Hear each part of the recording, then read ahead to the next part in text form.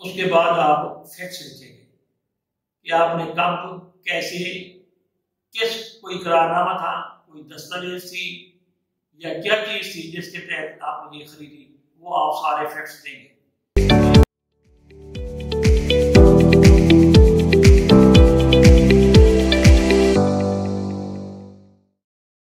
Civil courts में case किस तरह करना है ये भी एक हार्ट पोटैटो है, एक बर्निंग इशू है। इसमें मैंने देखा है कि अक्सर बेशतर पढ़े लिखा तबका खुद आके केस दायर कर देता है, जो कि गलत है। क्योंकि हमारे मुल्क का कानून कोडिफाइड है, हमारे यहाँ सिविल प्रोसीजर कोड मजमुआ, जबता, दीवानी। बाकायदा एक एक्ट मौजूद है। कोई वकील, कोई जज कोई पाकिस्तान का शहरी, वो अपना दिमाग इस्तेमाल नहीं कर सकता। हती कि आप ये देखें कि बहुत सी टर्मिनोलॉजी बहुत सी ऐसी चीज़ें, मसलन मैं छोटी मिसाल देता हूँ, फिर मैं आपको समझाता हूँ कि इस किस तरह तैयार करना है। आप गौर करें कि आप कहते हैं कि मैं मालिक हूँ। ये मेरे पिछले लेक्चर अगर आप देखें, जो स्टूडेंट्स पर जो मैंने किए थे, उसमें ये चीज़ें मिल जाएँगी। मैं सिर्फ़ उसको टच करके आगे बढ़ रहा हूँ। आप कहते हैं कि मैं काबिल हूँ। अब जो आप दिमाग रखते हैं, जो आप सोच रखते हैं नहीं कब्जे की डेफिनेशन आपके दिमाग में क्या है? एक चीज़ कानून ने डिफाइन किया है, एक हमारे हाई कोर्ट्स ने या सुप्रीम कोर्ट ऑफ़ पाकिस्तान ने, वो डिफाइन कर दिया है। उसके बहर आप नहीं जा सकते। आप कहेंगे मैं तो पीएचडी हूँ, मैं तो जनाब बड़ा फिलासफर हूँ बड़ा एजुकेशनिस्ट हूँ। No you are not in a position to reinterpret the interpretations were given by the Supreme Court and the High Court of Pakistan. आप कौन है? मसल पोजेशन है? आप कहते मेरे कब्जा है। हुकला हजरात फिर हम इस पर ले दे करते हैं। पोजेशन के दो इंग्रेडिएंट हैं।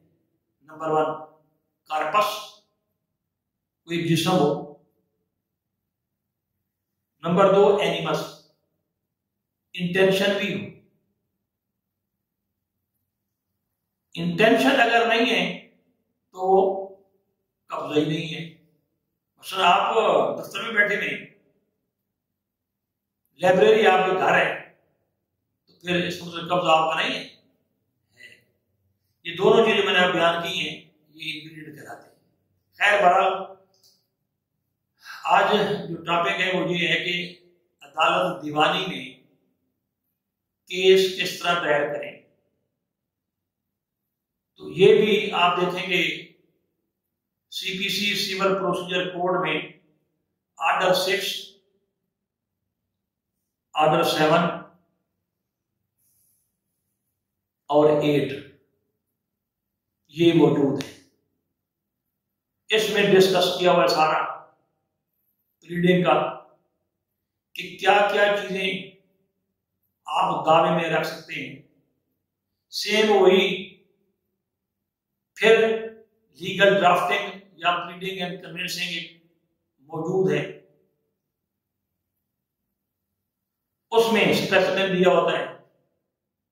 मैं स्ट्रेस ये दे रहा हूँ कि कोई शख्स ये ज़रूरत ही ना करे कि जी मैं खुद दावा दे आऊँगा खुद दावा दायर कर लूँगा, खुद लिखूँगा, गलत होगा। मास टेक्निकल बुनियादों पर आपका दावा चाहे अरब रुपए का खारिज हो सकता है तो इसमें आर्डर सिक्स आर्डर सेवन और आर्डर एट आप पढ़ें। सिविल प्रोसीजर कोड का तो उसमें सबसे पहले आप दावा जब लिखेंगे। तो इन दी कोर्ट ऑफ़ फला फला सीनियर सिविल जज सपोज़ मुल्तान है तो मुल्तान। व अदालत जनाब सीनियर सिविल जज बनता उसके बाद आप जितने मुदैयान हैं, जिसको अंग्रेज़ी में प्लेटिफ कहते हैं, आप नंबरिंग देंगे। मुदई है। ओके। पचास है। लिखेंगे। फिर आगे लिखेंगे वर्सेस वर्सल बनाओ। उसके बाद डिफेंडेंट शुरू होंगे। ये आपको मुद्दा ही कहलाएगा। प्लेटिव जो है, उसके बाद डिफेंडेंट है। ये मुद्दा अलह या मुद्दा अलह चाहे सौ हो, चाहे एक हो। उसका फिर आप एक रूटीन चली हुई है कैप्शन देते हैं। उसका हेड नोट जिसे आप कहते हैं। आपका दावा है किस चीज़ का? मसला आप कहते हैं कि मैं जदाद का मालिक काबिल हूँ लीगल करेक्टर मेरे पास है, वगैरह वगैरह। तो फिर आप दावा करेंगे इस्तकरार हक का। जब इस्तकरार हक का दावा आप करेंगे तो अगर गिफ्ट की बुनियाद पर है, कोई कोई आपने बैर खरीदी थी किसी से? ज़मीन खरीदी थी? हिब्बा, तबलीग वगैरह वगैरह। तो इस पर जितनी अमाउंट होगी, आपको साढ़े सात परसेंट उसकी कोर्ट फ़ीस लगाना पड़ेगी। उसके बाद जनाब आप फैक्ट शुरू करेंगे कि मैंने एक ज़मीन, उसकी फिर डिस्क्रिप्शन लिखेंगे। जदाद की तफसील केवट नंबर ये है खतूनी नंबर ये है अगर देहाती ज़मीन है। तो ये सारा आप निज़ाम लिखेंगे। उसकी डिस्क्रिप्शन ऑफ़ प्रॉपर्टी की वो किधर है, उसका हदूद दरबा क्या है, उसकी कितने करार है या कितने मरले हैं वगैरह वगैरह। ये सारे लिख। के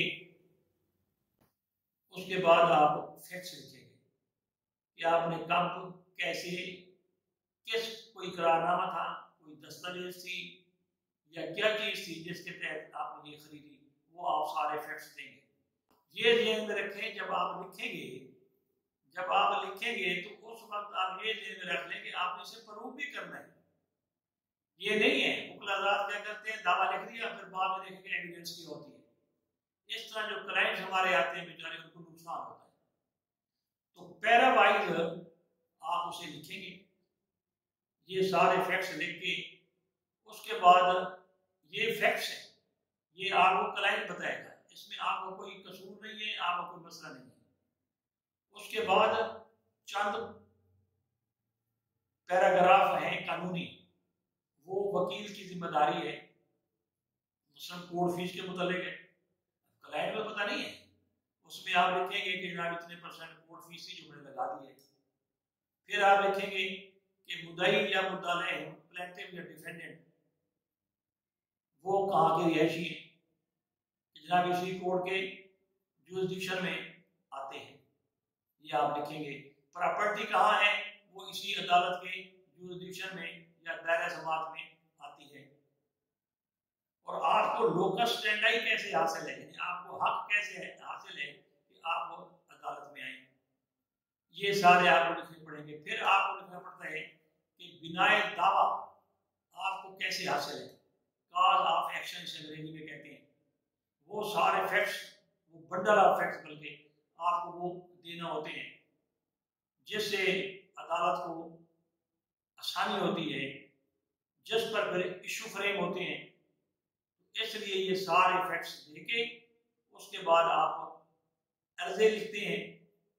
अगर उर्दू में लिख रहे हैं तो साथ फिर आपको उसकी तस्दीक देना पड़े, तस्दीक का मतलब होता है कि आप सच्चाई बयान कर रहे हैं, उसकी विरासती बयान कर रहे हैं और आप लिखते हैं कि हल्फन तस्दीक की जाती है। यानी मैं अल्लाह की कसम उठा के ये कहता हूँ कि ये सारे जो इंग्रेडिएंट हैं, जो मैंने एवरमेंट्स लिखे हैं, मेरे इल्म की हद तक और बाकी यकीन की हद तक, यकीन वाले होंगे कानूनी वो बेचारा यकीन कर लेता है। क्लाइंट जो है एक है इल्म की हद तक वो आपको पता होता है। ये इसलिए लिखा जाता है कि जब आप झूठ बोलेंगे तो फिर आपके खिलाफ वो कार्रवाई भी हो सकती है, ये आप ध्यान में तो उसके बाद आपके दस्तखत अंगूठा होगा। एक दस्तखत अंगूठे तस्दीक के नीचे, एक दस्तखत अंगूठा आपका उसके अर्जे के नीचे, जो आपने दावा लिखा। साथ ही आपका जो है वो क्या होगा? आपके दस्तखत भी होंगे और वकील के दस्तखत भी होंगे।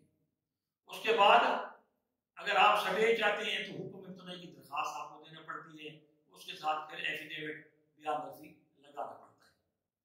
उसके बाद एक आप पेश करता लगाते हैं कि जो जो कागजात आप दे रहे हैं तो आज की तारीख डाल के आप वो साथ अटैच कर दें, ताकि सबूत रहे कि आपने ये ये ये कागजात कुछ कागजात आपके पास नहीं होते।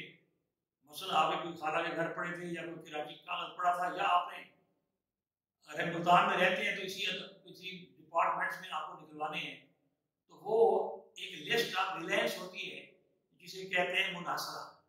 आप उस पर इसार करते हैं, उसमें लिखते हैं कि इस वक्त ये डॉक्यूमेंट्स ये दस्तावेजात, ये कागजात किसके पास है, किसके कब्जा में है? तो आप ये ना घबराएँ कि वो फलां के पास हैं तो मैं क्या करूँ? सिर्फ़ आप लिख देंगे, बाद में फिर आप दरखास्त देंगे कि जनाब ये फला दफ्तर के कब्जे में है एंटी करप्शन के कब्जा में है, या फला बंदे के कब्जा में है। तो अदालत निकलवा लेगी। अदालत उसके फ्रंट गिरफ़्तार भी जारी कर सकती है कि जनाब इसको प्रोड्यूस करें within shortest possible time तो वो करवा लेती है। इस तरह एक फ़र्क पत्ता होता है। वो आपको देना पड़ता है कि आप रहते कहाँ हैं। ये लाजमी जूज होता है। फिर लिस्ट ऑफ़ हेयर्स वुसा की लिस्ट होती है। क्योंकि दावा नहीं मरता बंदा मर जाता है। ना खाता बंदा फौत हो जाए तो फिर उसके वुसा आके वो दावा शुरू कर देते हैं। लड़ना तो ये आपके वकील से तो एक फ़र्क तलबाना होता है। वो साथ लगाते हैं। उसके बाद जज साहबान जो है वो क्या करते हैं? नोटिस जारी कर देते हैं। पार्टी को तलब कर लेते हैं। अगर आपकी दरखास्त है, हुक्म इम्तनाई की सटे की तो नोटिस भी जारी होगा और समन भी जारी होगा। इस तरह फिर वो आएँगे, वो आके जनाब अपना रिटर्न स्टेटमेंट से जवाब दावा कहते हैं। वो देंगे, अगर तो उसने आके तस्लीम कर लिया तो फिर order twelve rule six CPC का मौजूद है। या आर्डर फिफ्टीन रूल वन मौजूद है। और एक सौ तैतीस आर्टिकल कानून शहादत मौजूद है। तो कोर्ट को पावर है, दावा सच्चा अगर है, और उसने तस्लीम कर लिया है तो अदालत उसे डिग्री कर देगी। या कंप्रोमाइज हो गया पार्टी के दरमियान, फिर आपका दावा डिग्री हो जाएगा। तो ये स्ट्रेटेजीज होती हैं, जो ऑब्ज़र्व कोर्ट को करना पड़ती हैं इसी तरह फिर ऑर्डर फार्टी खड़ा हुआ है, उसके तहत फैसला लिखना कैसे है? अब जज बाउंड है वो किस किस तरह लिखे? आप लोग कहते हैं कि वो जज को बहुत पावर है, पत्नी क्या कोई पावर नहीं होती। सारा कानून लिखा लिखाया है कोडिफाइड है।